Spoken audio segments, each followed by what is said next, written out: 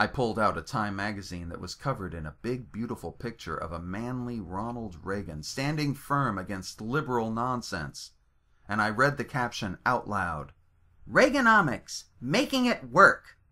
I smiled at old me and added, Remember those days, sir, when the Republicans were in charge and they wouldn't take no guff from nobody? Mr. Gorbachev, tear down this wall!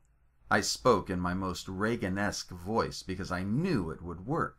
I knew myself pretty well, and if there's one thing I am certain about, is that I am and have always been a big fan of President Ronald Reagan.